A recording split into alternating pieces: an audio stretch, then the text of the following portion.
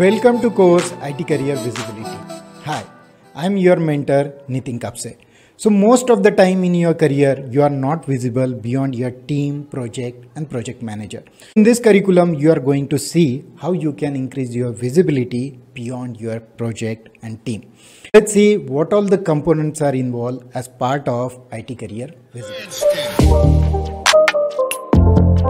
So initial few points, I talk about some mindset games because before creating your visibility, you need to refresh certain things as far as your mindset is concerned. And the below part i talked about how to use various platform to go beyond your team and project. And you can create your visibility on global platform as well. Okay. So the first topic is about enemies. As far as your mindset is concerned there are certain enemies and we are going to see that.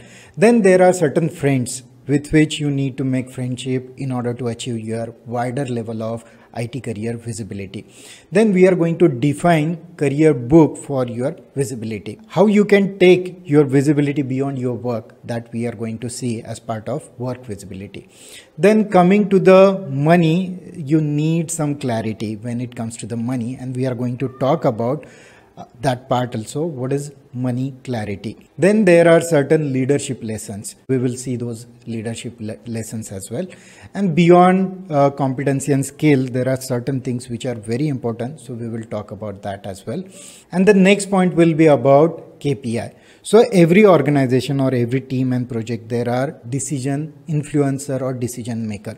So how you can be a part of that kpi group we will see that. And the last one is about social media. So how you can use a global platform like social media to create your visibility beyond your workplace. So let's deep dive on each component to create your wider it career visibility. Please. Please type visibility in the comment section before you move to the next video